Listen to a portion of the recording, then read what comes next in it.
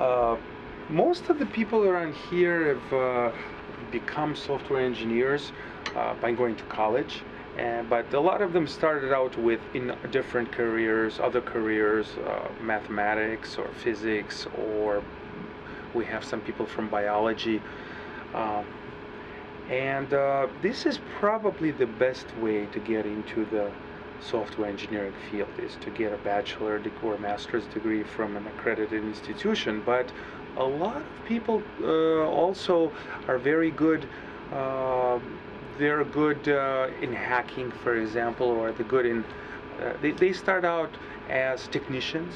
They they go to a two-year uh, technical college, and they they come in maybe not as a software developer, but maybe as a QA engineer, tester, uh, a, a, lab technician, or something like that, and they work their way up to a software developer.